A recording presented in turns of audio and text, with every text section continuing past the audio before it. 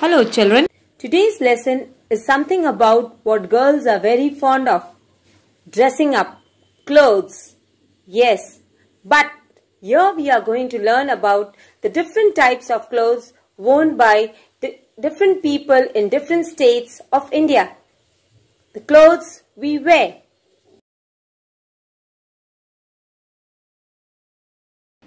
Our country has many states. The people in different states in India dress differently. Our dress style depends on the climate of our region.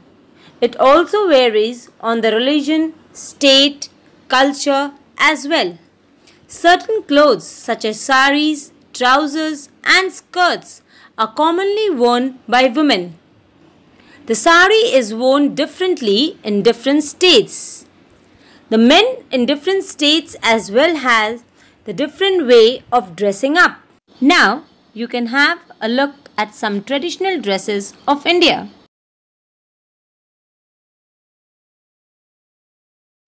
Now let's have a look at the traditional dress of Punjab. The men in Punjab wear lungi, kurta and turban, whereas women wears salwar kameez and dupatta. Now let's move to the state of Rajasthan. In Rajasthan, men wears angrakha pajama and turban, whereas women wears ghagra and kachli. Next, we move to south to the state of Tamil Nadu. In Tamil Nadu, you can see men wearing a lungi. This lungi is called vesti. The same lungi in Kerala is called mundu. And women in Tamil Nadu wear sari, seasonal clothes. During summer, people prefer wearing light cotton clothes. But during winter, people prefer wearing woolen clothes like sweaters, pullovers, shawls, blankets, etc. In Jammu and Kashmir, people wear a long coat called firan which protect them from the cold. That's not all children. Do you know there are tribes that live in our country? For example, the tribe of Nagaland.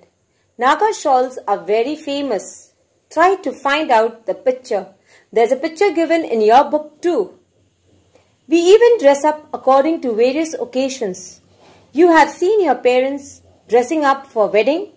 Mummies generally wear saris of silk. Daddies wear suit with silk tie. You children also enjoy to dress up for wedding, for birthday or for any parties. So, with this we end over here.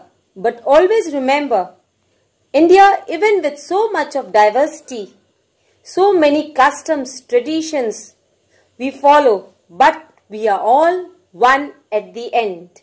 We are all Indians. That's all. Have a good day. Goodbye.